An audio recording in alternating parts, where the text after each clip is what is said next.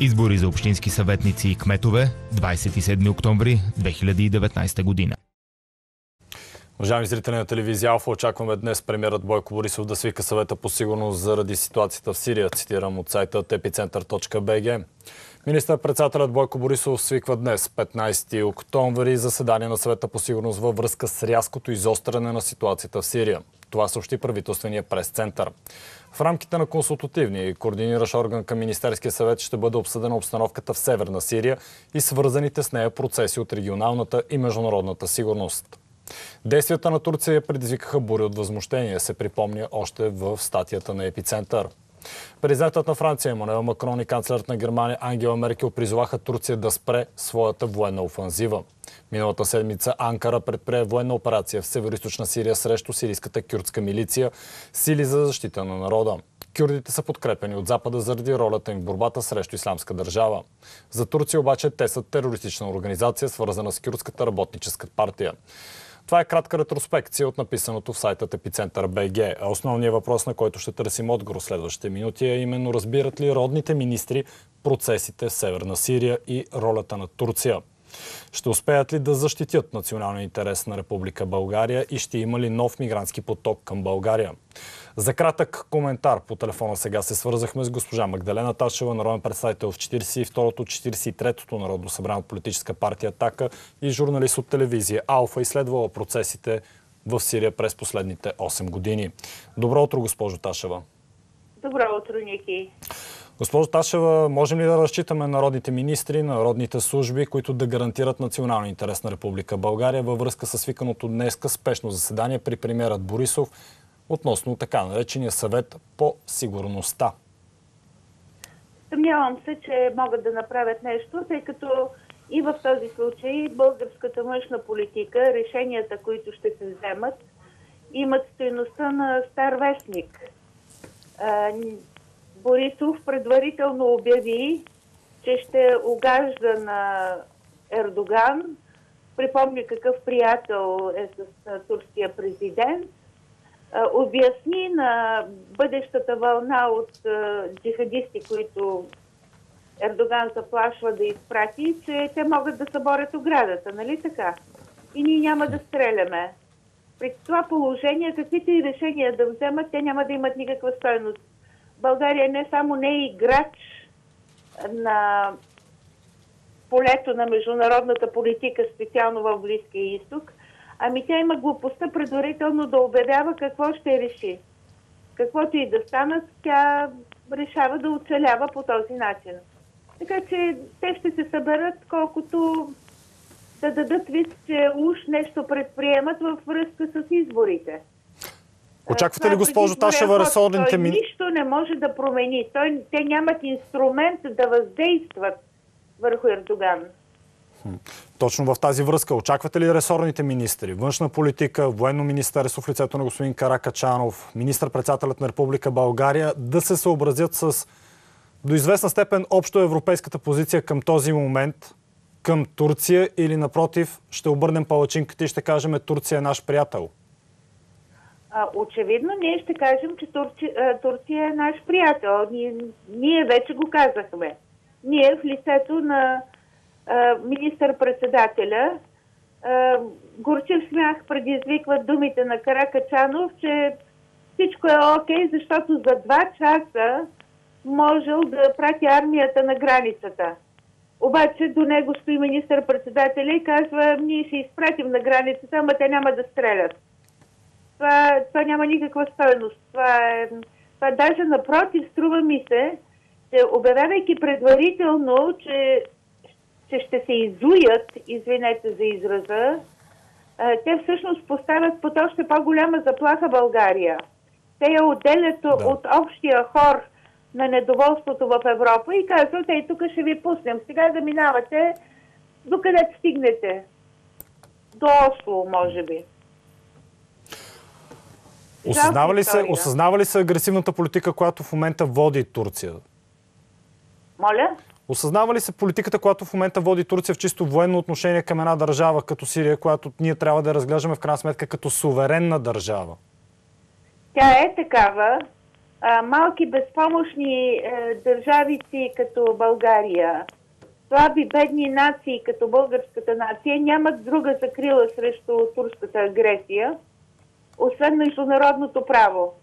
А, официална София фактически потвърждава съгласието си с нарушаването на международното право. Самата Европа е, е, реагира вяло. Тя, например, не налага санкции. И забележете Тръмп, който обяви вчера, че пак ще вдигне митата върху турската, турското производство на алумини и стомана, той не призовава европейските си партньори да наложат подобни санкции. А в случая на Иран имаше американски натиск да наложим санкции. тук може да направим не. един паралел, тук може госпожо Ташева да направим един паралел и с Руската федерация, защото ето вчера чухме коментари, които дойдоха от Европейската комисия, от Европейския съюз, които казват, обсъждаме някакъв вид ембарго върху Турция, но ние не можем да направим всичко. Не може да наложиме санкции на Турция. Защо веднъж срещу Руската федерация може да се гласуват санкции, срещу една държава като Турция? След редицата нарушения, които направиха, темата за санкции срещу Турция остава някакси на, много на заден план. Всъщност, не си ли остава Европейската комисия една отворена вратичка, именно за водене на друг вид политика към Турция?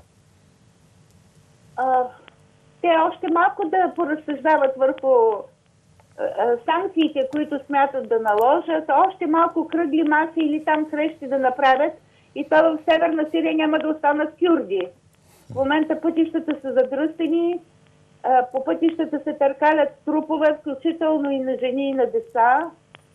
Турската армия навлиза не на 20 км, както в първите дни, не на 35 км, както после казаха, а на над 100 км на юг в турска, в, извинете, в сирийска да. територия.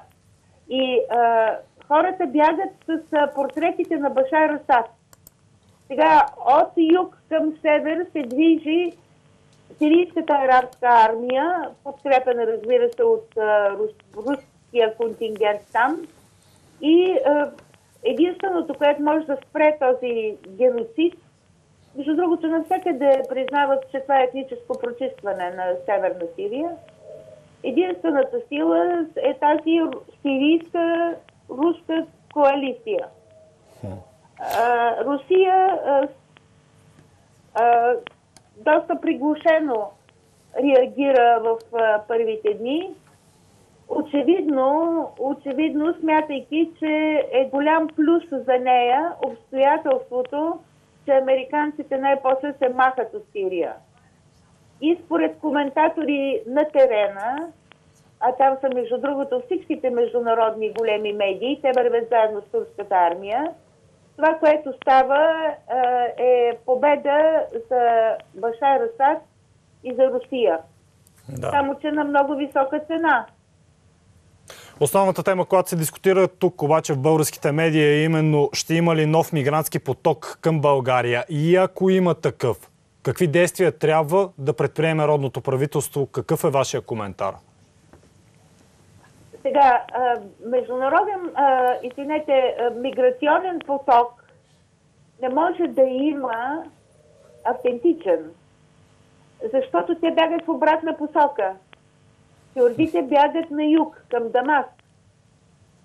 Представете си картата на Сирия. Да, да. Но опасността от прехвърляне на десетки хиляди джихадисти и канибали в Европа винаги е съществувала, защото Ердоган ги държи на своя територия. Нека да кажа, че и сега в момента, в хода на агресията, те са неговото уръдие. Значи върви турската армия, но пред нея върви един баши бузук от главорези, които той нарича Сирийска свободна армия. Тя беше още 2014 година разбита и раз, раз, парчетосана направо. Една част от, станаха членове на Джабхата Ал-Нусра, други пък станаха направо членове на Ислямска държава. Сирийска свободна армия фактически не съществува това, са, това е някаква сбирщина от а, арабски главорези. Те вървят отпред, след тях върви турската армия и а, вървят на юг. Откъде ще дойдат а, мигранти или бежанци на българо-турската граница? Няма как да дойдат. Но на турска територия а, Ердоган изхранва подобни банди, многохилядни, и той винаги може да ги прехвърли. Те не са 3 милиона и 600 хиляди, те са примерно доста по-малко, едва ли имат 1 милион.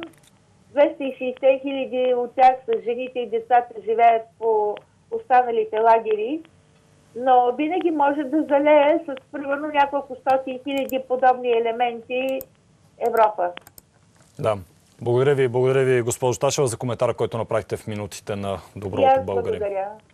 Купуването и продаването на гласове е престъпление.